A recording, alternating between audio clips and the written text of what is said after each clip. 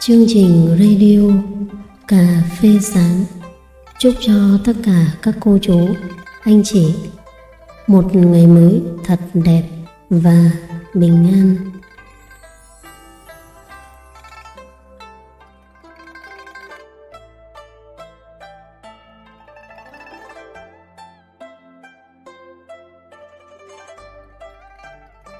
Lời kinh trong lòng bàn tay. 171 Nhiều người đời thường nghĩ cuộc sống sẽ không đổi thay, những gì yêu thương sẽ còn mãi.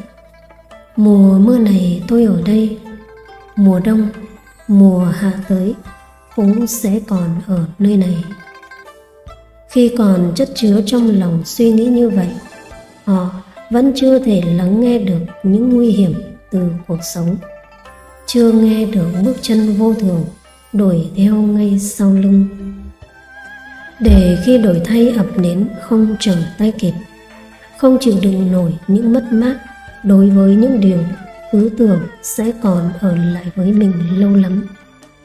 Những vết thương trên bàn tay người đời bắt đầu từ đó. Khi cố nắm lấy một mảnh vỡ của ngày hôm qua, mà mảnh vỡ bao giờ cũng sắc nhọn do còn nuôi trong lòng suy nghĩ, cuộc sống sẽ không đổi thay, nên người đời mới dễ dàng bị những đổi thay của cuộc đời đánh gục cũng con đường đấy, hàng cây đấy, góc phố đấy, nhưng ngày mai làm sao vẫn sẽ lại có được một ngày giống như hôm nay?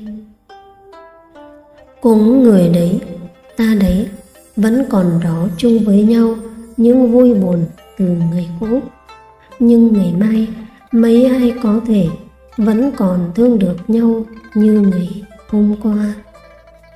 Người hỏi, làm sao để không phải buồn nhiều khi nhìn theo một điều đã mất đi?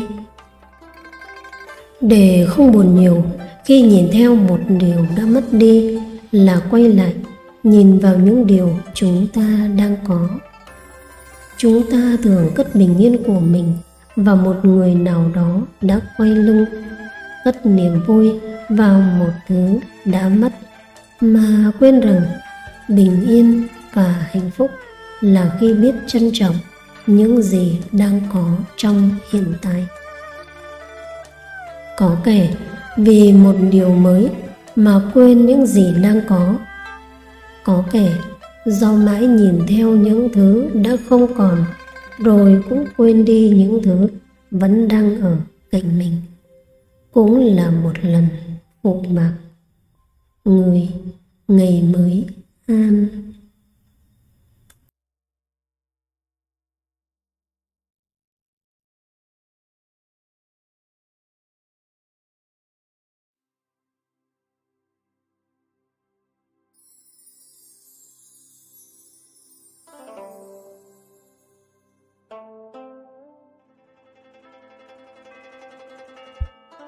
Lời kinh trong lòng bàn tay 172 Kẻ không biết làm điều thiện để tự thương mình thì cũng không thương được người. Dù ở ngay trước mặt, nhưng cũng bị người lãng quên. Không nói được một lời thiện, không làm được một việc lành, kẻ đó sống mà như đã chết từ lâu lắm rồi. Có lẽ ai cũng nợ người xưa của mình một lời hứa gì đó. Có kẻ hứa sau này sẽ sống thật bình yên, nhưng loay hoay mãi, đi đến trùng chân, vẫn không thể đi qua hết một mảnh nỗi buồn trong lòng.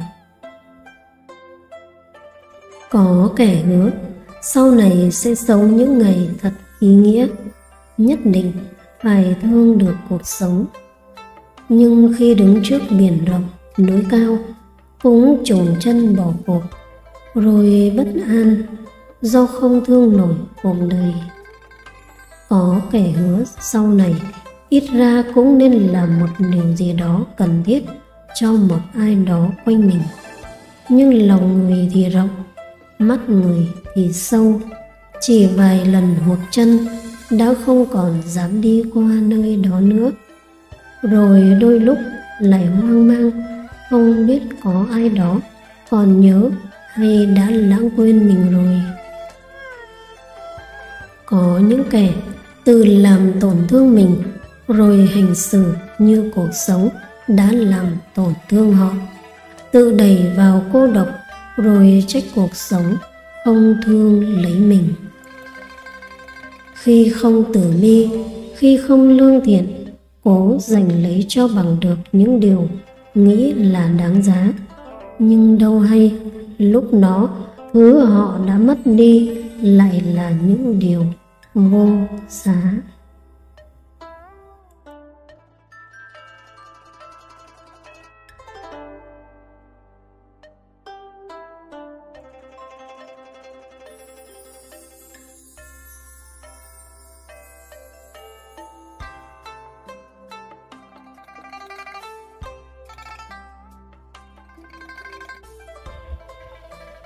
Chương trình đến đây là kết thúc. Nếu thấy hay, xin hãy đăng ký, like và chia sẻ. Chúc cho tất cả sức khỏe, bình an, vô lượng phước lành. Hẹn gặp lại chương trình lần sau.